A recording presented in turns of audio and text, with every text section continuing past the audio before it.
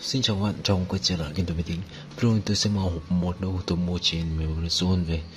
Đó là một cái SD Daho này C800A 120GB à, 2.5 inch nhé à, Cái này nó khoảng à, Tôi không nhớ rõ nhưng nó khoảng hơn 300 400 gì đó. À, Và thẻ nhớ này Thẻ nhớ uh, Sonic Ultra 32GB Là tổng cộng cả hai cái là 505.000 free ship nhé bây giờ mình sẽ mở đặt và giao rất là nhanh.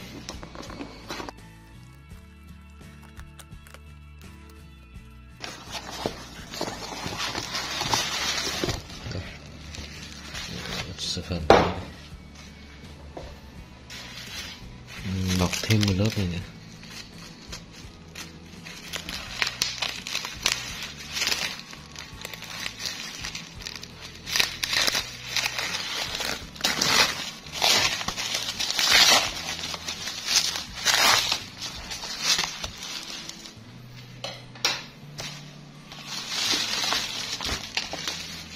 rồi cái này thì à, cái thẻ nhớ này tôi về lắp cam à, vì cái loại này thì các bạn à, mình không không để quay video.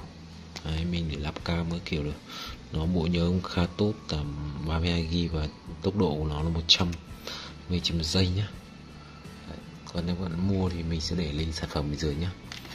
Rồi cái thứ hai là cái SSD đào hoa cái này nó mã của nó là C800A Đấy, SATA 6GB trên giây cái này thì mình thấy mới mình sẽ đặt về và sau đó mình sẽ uh, test thử tốc độ và dùng thử test thử tốc độ cho các bạn xem nhé các bạn cảm thấy ưng ý thì mình sẽ để cái link video à, và cái link mua ở bên dưới nhé ở đây thì mình chỉ mở cho các bạn xem thôi. Đây về sau thì đây cái mã của nó đây. Đấy. cái này thì bảo hành 3 năm các bạn nhé Ồ, video mình xin tạm dừng đây. Các bạn nhớ like chia sẻ và đăng ký kênh của mình nhé. Chào các bạn.